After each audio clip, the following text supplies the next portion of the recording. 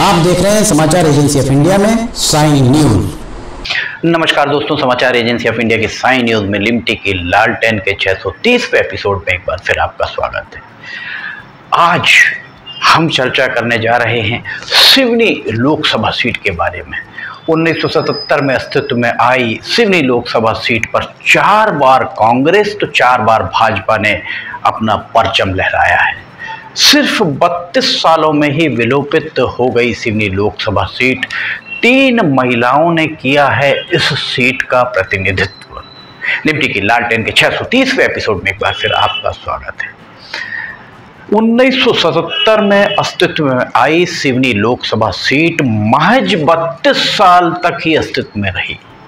1977 के उपरांत 2009 के लोकसभा चुनाव में सिवनी की लोकसभा सीट विलोपित कर दी गई। भारत के उच्चतम न्यायालय के अवकाश प्राप्त न्यायाधीश न्यायमूर्ति कुलदीप सिंह की अध्यक्षता में 12 जुलाई 2002 को परिसीमन आयोग का गठन किया गया था। इस आयोग के द्वारा 2001 की जनगणना के अनुसार निर्वाचन क्षेत्रों का परिसीमन किया गया था। दिसंबर 2007 में इस आयोग ने अपनी रिपोर्ट भारत सरकार को सौंप दी थी। 19 फरवरी 2008 को तत्कालीन राष्ट्रपति, महामहिम राष्ट्रपति प्रतिभा देवी सिंह पाटिल के द्वारा इस आयोग की रिपोर्ट को लागू करने के लिए स्वीकृति प्रदान कर दी गई। हम आपको ये बता दें कि देश में इस तरह के कुल परिसीम इस तरह के परिसीमन आयोगों का गठन उन्नीस सौ बावन, उन्नीस सौ तिरसठ, उन्नीस सौ तिहत्तर और 2002 में किया गया था तथा चार बार ही परिसीमन किया गया है। सिवनी लोकसभा सीट का इतिहास क्या रहा है, इस बारे में आज विस्तार से जानने के लिए इतिहास पर नज़र डालते हैं। 1977 में भारतीय लोकदल के निर्मल चंद जैन ने कुल वैध मत दो लाख उनसठ हज़ार नौ सौ चवालीस कुल वैध मत थे उनमें से एक लाख संतावन हज़ार एक सौ तेईस अर्थात अंठावन दशमलव दो एक फ़ीसदी वोट प्राप्त किए। उनके निकटतम प्रतिद्वंदी ठाकुर रघुराज सिंह, जो कांग्रेस के उम्मीदवार थे, उन्होंने एक लाख तीन हज़ार पाँच सौ बासठ अर्थात अड़तीस दशमलव तीन छः फ़ीसदी वोट लिए थे।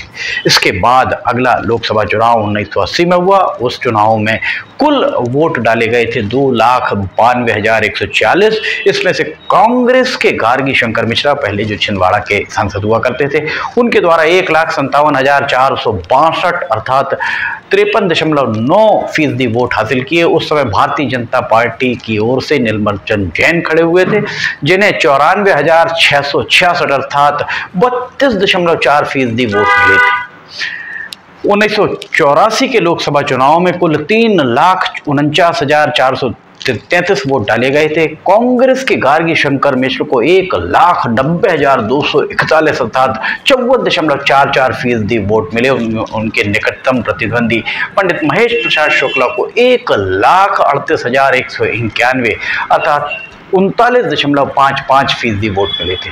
उन्नीस सौ नवासी के लोकसभा चुनाव की अगर हम बात करें तो उन्नीस सौ नवासी के लोकसभा चुनाव में भारतीय भाजपा और जनता दल के बीच हुए समझौते के सिवनी लोकसभा सीट को जनता दल की झोली में डाल दिया गया था, पर यह समझौता काफ़ी विलंब से हुआ था। इसके पहले ही भारतीय जनता पार्टी के युवा चेहरे प्रहलाद सिंह पटेल को भारतीय जनता पार्टी का चुनाव चिन्ह आवंटित कर दिया गया था।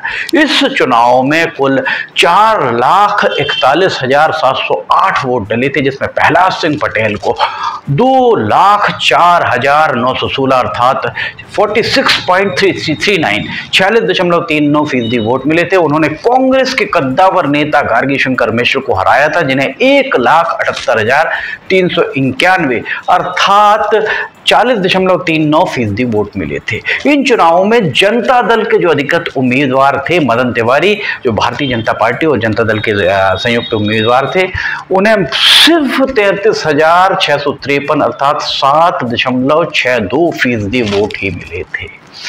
चुनाव में इसके बाद उन्नीस सौ इक्यावन, इक्यानवे नाइन्टी वन के चुनावों में कांग्रेस की ओर से प्रदेश के कद्दावर नेत्री विमला वर्मा जिन्हें सिवनी में आयरन लेडी के नाम से जाना जाता था, और सिवनी की झोली में उन्होंने अनगिनत सौगातें दी हैं, और उन्हें मैदान में उतारा। इस चुनाव में कुल चार लाख पाँच हज़ार नौ सौ पैंतीस वोट डले, जिसमें से विमला वर्मा को दो लाख इक्कीस हज़ार आठ सौ छियानवे अर्थात चौवन दशमलव छः छः फ़ीसदी वोट मिले, तत्कालीन सांसद रहे।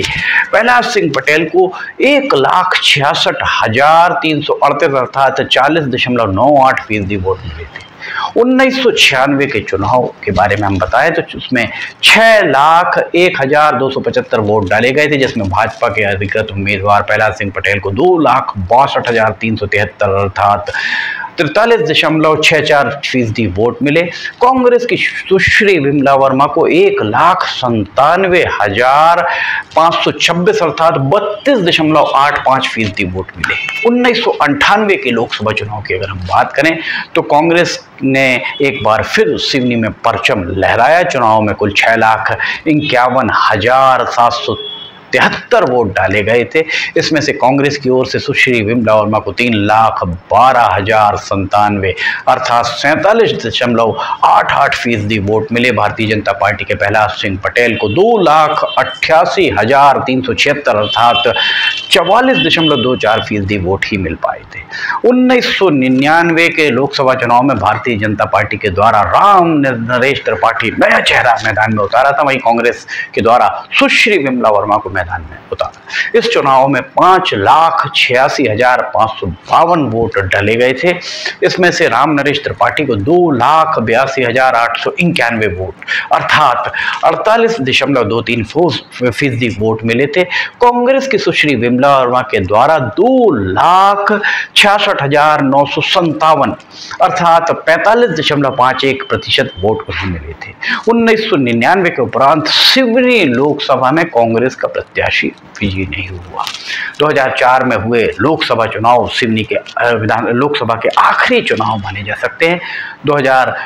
2004 में भारतीय जनता पार्टी के द्वारा श्रीमती नीता पटेरिया पर दांव लगाया गया तो कांग्रेस के द्वारा जबलपुर की महापौर रही कल्याण, कल्याणी पांडे को मैदान में उतारा। इस चुनाव में कुछ, कुल पाँच लाख निन्यानवे हज़ार पाँच सौ तिरपन वोट डले, जिसमें से नीता पटेरिया को भारतीय जनता पार्टी की थी। दो लाख अड़सठ हज़ार एक सौ पंचानवे तो कल्याणी पांडे के द्वारा एक लाख तिहत्तर हज़ार तीन सौ चौरानवे वोट हासिल किए गए। इस चुनाव में गोंडवाना गणतंत्र पार्टी की राजेश्वरी के द्वारा एक लाख तीन हज़ार इकतीस वोट हासिल किए गए। इस इस तरह सिवनी लोकसभा सीट 32 सालों में एक बार भारतीय लोकदल चार बार कांग्रेस और चार बार भाजपा के प्रत्याशियों को इस सीट से केंद्र में अपना वाद भाग्य विधाता सिवनी के लोगों के द्वारा बनाया गया। इसमें से उन्नीस सौ इक्यानवे, उन्नीस सौ अंठानवे में सुश्री विमला वर्मा, महिला की अगर हम बात करें तो इक्यानवे और अंठानवे में, और दो हज़ार चार में श्रीमती नीता पटेरिया। विमला वर्मा कांग्रेस की थी, नीता पटेरिया भारतीय जनता पार्टी की प्रत्याशी रही हैं, जिन्हें लोकसभा में प्रतिनिधि के बतौर सिन्नी से भेजा गया इस बार 19 अप्रैल को लोकसभा के लिए मतदान होगा। आप अपने मताधिकार का प्रयोग अनिवार्य तौर पर करते हुए जिम्मेदार नागरिक होने का कर्तव्य ज़रूर अदा करें। लिमटी की लालटेन के 630वें एपिसोड में फ़िलहाल इतना ही। अगर आपको समाचार एजेंसी ऑफ़ इंडिया की साई न्यूज़ में लिमटी की लालटेन देखना है तो समाचार एजेंसी ऑफ़ इंडिया की वेबसाइट या साई न्यूज़ के न्यूज़ चैनल पर जाकर उसे देख सकते हैं। आपको अगर ये सारी खबरें पसंद आ रही हों तो आप इन्हें लाइक सब्सक्राइब और शेयर ज़रूर कीजिएगा। समाचार एजेंसी ऑफ़ इंडिया के सहयोगी अखिलेश दुबे के साथ लिमटी की लालटेन का छः सौ इकतीसवा एपिसोड लेकर बहुत जल्द हाजिर होंगे। फ़िलहाल आपसे इजाज़त देना चाहेंगे। जय हिंद।